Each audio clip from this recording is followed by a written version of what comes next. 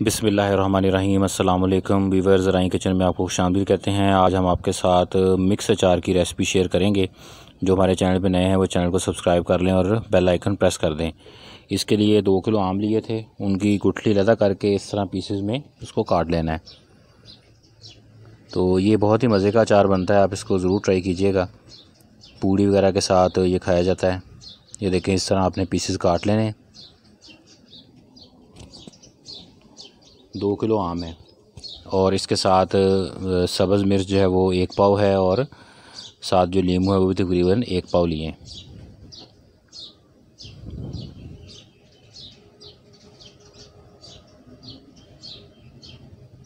मिर्च को सेंटर से काट लेना है और लीमू जो है उसके भी टुकड़े कर लेने हैं। और इसके साथ जो नमक है वो एक पाव डलेगा।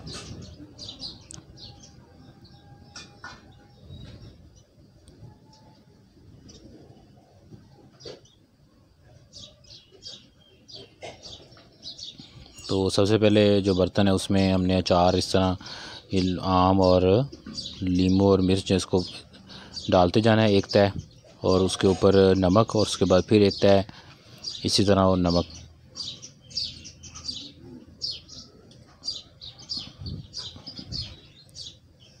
देखिए अब इस पर मिर्च और हरी मिर्च और साथ लीमू वो भी डाल दिया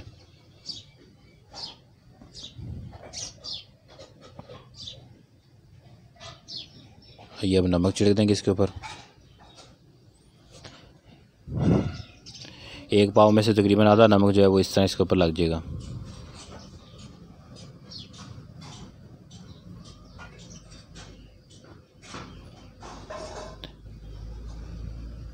ये देखें, फिर एक तय जो है वो नमक की आ गई।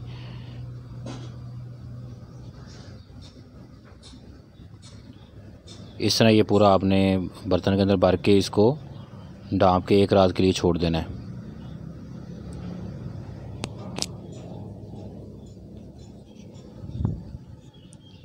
ये देखें, ये सारे इसकी तय लगा ली है।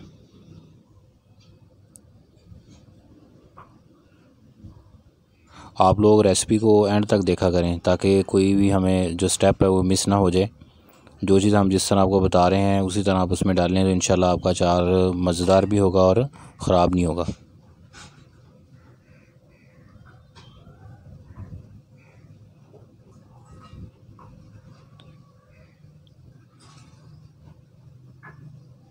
अभी देखें इसके ऊपर नमक वगैरह लगा हुआ है, अब इसको इसी तरह डाम के एक रात के लिए छोड़ देना है और ताकि इसका पानी जो है वो निकल जाए।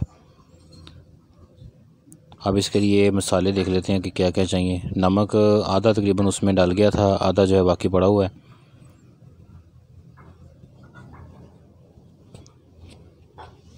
ये देखें। इसके साथ ये हमारे पास सुरख मिर्च है और ज़ीरा है। सुरख मिर्च एक चम्मच है और ज़ीरा जो है आधा चम्मच है। साथ हल्दी जो है वो एक चम्मच। और ये सौंफ और मेथरे हैं, ये आधा पाव, दोनों का वज़न है। कुछ बरी कर लिए हैं, बाकी साबत हैं। कलवंजी एक चम्मच है। तो ये इसके मसाले हैं जिनको हमने इसमें डालना है। अब उसको एक रात हो चुकी है, अब इसका पानी निकाल लेंगे। ऐसे खुले बर्तन में इसको डाल लें।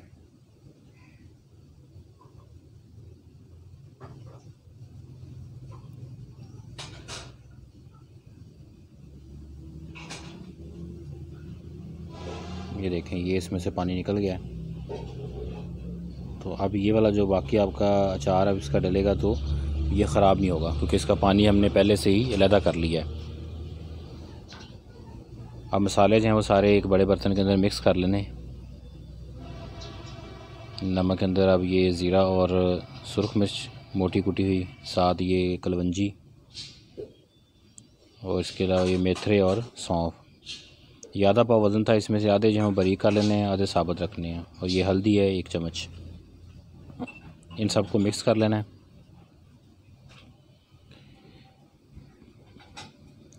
अब उसके बाद आपने जिस बर्तन में भी डालना है इस चार को वहाँ पर ये पहले आम और मिर्च और नींबू जो उसको डालेंगे इसमें। एक तय उसके बाद फिर इसके ऊपर मसाला छिड़केंगे फिर एक तय इनकी लगाएँगे फिर एक मसाले की इस तरह ये आ, सारे चार के अंदर मिक्स हो जाएगा। ये देखें।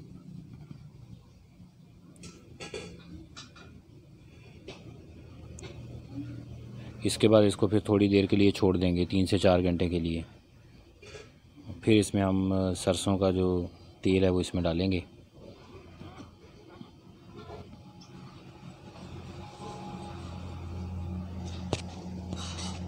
इसका भी तरीकाकार यही है कि आप अचार पहले तकरीबन पाँच से छः दिन तक आपको दो दफ़ा इसको दिन में हिलाना होगा अचार को।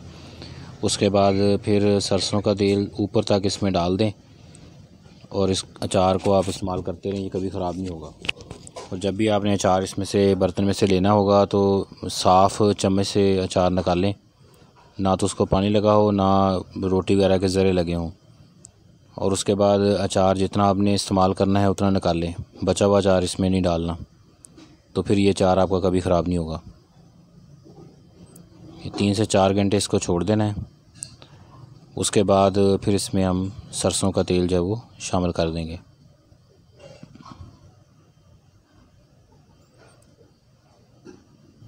ये देखें।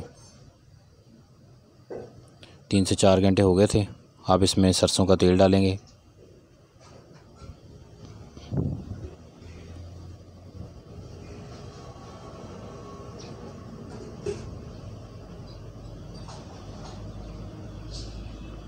इस तरह पानी निकाला हुआ चार में सरसों का तेल जो आप डालते हैं, इसको आप दोबारा भी इस्तेमाल कर सकते हैं।